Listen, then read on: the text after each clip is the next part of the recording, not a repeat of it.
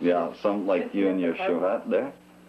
Let's go out and film it. Maybe the camera will explode in my face or something.